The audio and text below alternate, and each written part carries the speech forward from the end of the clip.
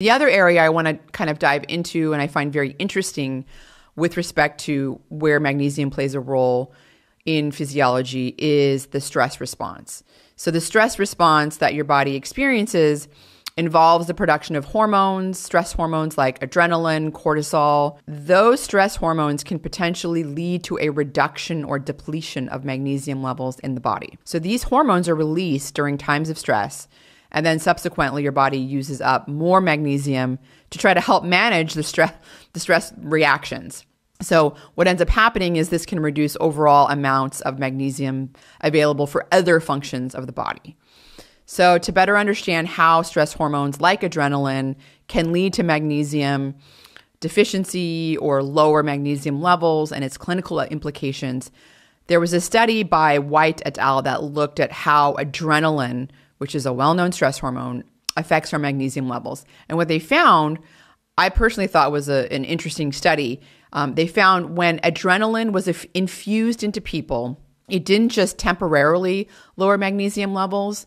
These levels stayed significantly reduced even an hour after stopping the adrenaline infusion without showing any immediate signs of bouncing back. So, in other words, the adrenaline immediately lowered magnesium levels, and those levels stayed low for quite some time. There have been a range of studies that have found that stress exposure, things that are stressful and are known to increase cortisol, adrenaline, can influence magnesium levels, both in blood and urine. So, for example, young adults undergoing persistent or even intermittent stress, like, for example, anticipating a military conflict they experienced substantial decreases in their overall and plasma magnesium concentrations over three months. And there were similar results or outcomes found um, when the impact of short term, so this is a one day, and also a long term, which would be like a month of sleep deprivation on magnesium levels was examined. So this was done in healthy men.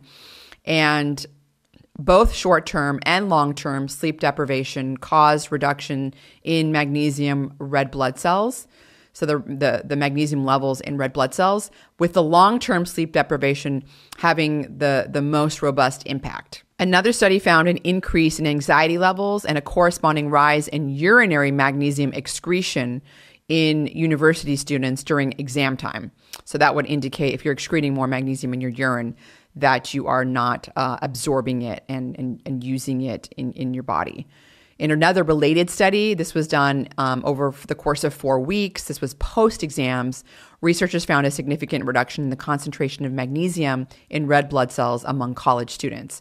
Yet again, sort of solidifying how the stress response will lower magnesium levels. So, yet another study confirmed this. This was done um, in in people that were impacted, they were affected by noise exposure.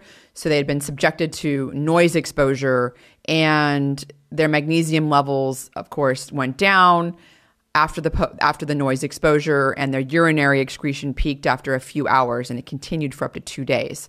So it seemed like there was some sort of long term effect with respect to excreting more magnesium through urine, which is something I mentioned that alcohol also does just from that stress response from the, the, the very loud noise exposure.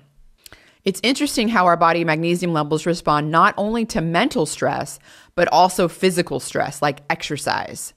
So, acute or short term stress can lead to a brief spike in our blood magnesium levels. This is a phenomenon known as transient hypermagnesemia.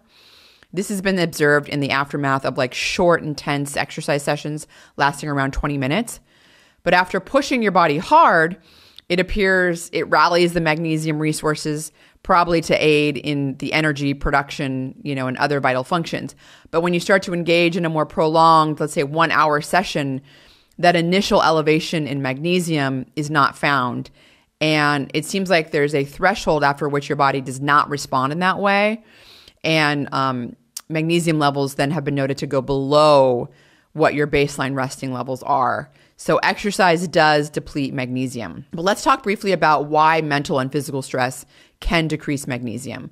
So, the body's neuroendocrine system responds to stress through a process that many will recognize as the fight or flight response. So, this is primarily activated by the adrenal glands, Uh, the hormones adrenaline and cortisol rapidly increase during this response.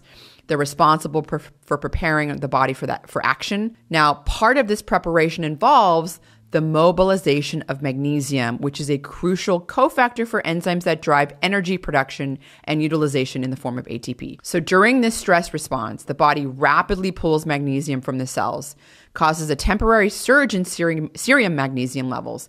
But the catch is this mobilization of magnesium is not an infinite resource. So as the stress continues, it's extracting magnesium and it, and then and then expelling it through the body through urination, which then gradually depletes our overall body store of magnesium.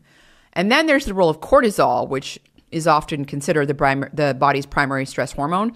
So when cortisol levels rise, it signals to the kidneys that they need to kick into turbo mode and start expelling more magnesium out of the body. This action further reduces our body's total magnesium supply. And then on top of all this, stress also triggers certain hormones that can affect the balancing act of magnesium in our body, especially in, in, in organs like the gut, kidneys, and the bones.